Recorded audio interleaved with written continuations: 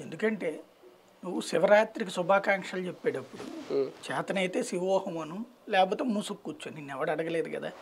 నిన్ను ఏమైనా శుభాకాంక్షలు చెప్పమని అడిగాడు? వైఎస్ఆర్ కాంగ్రెస్ పార్టీ చెప్పబోతే శివరాత్రి చేసుకోమని ఎవడని చెప్పాడా? లేదంటే మామూలుగా శివలింగం వేసి శివరాత్రి శుభాకాంక్షలు పెట్టి చెప్పొచ్చు మామూలుగా. కానీ దానికి హితబోధ. ఏమని? ఏదో పాలు ఊరకనే పోస్తున్నారు. వాడు ఎవడో హిందూ మతానికి సంబంధించినోడు హిందూ ధర్మానికి సంబంధించినోడు కాదు. మత మార్పిడి గ్యాంగ్ అయి ఉంటాడు అధ్యాయాలు చేసినోడు. ఎందుకు అంటే మనకందరికీ శివాలయాలకు వెళ్తాం. వెళ్ళనోడికి తెలియదు. శివుడికి అభిషేకం చేస్తే అన్ని పాలు పారబోయరు.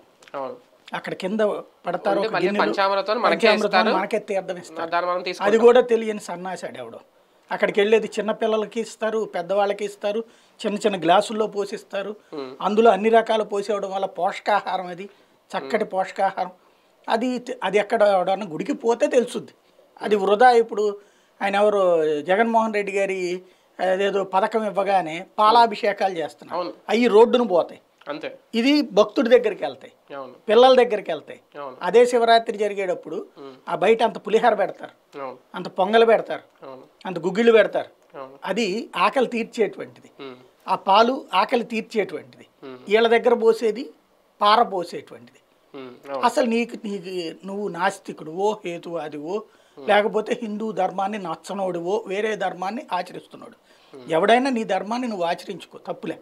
ఎదుటి ధర్మాన్ని ద్వేషిస్తూ దాని మీద దుష్ప్రచారం చేయడం అనేటువంటిదే దుర్మార్గం. అది వైఎస్ఆర్ కాంగ్రెస్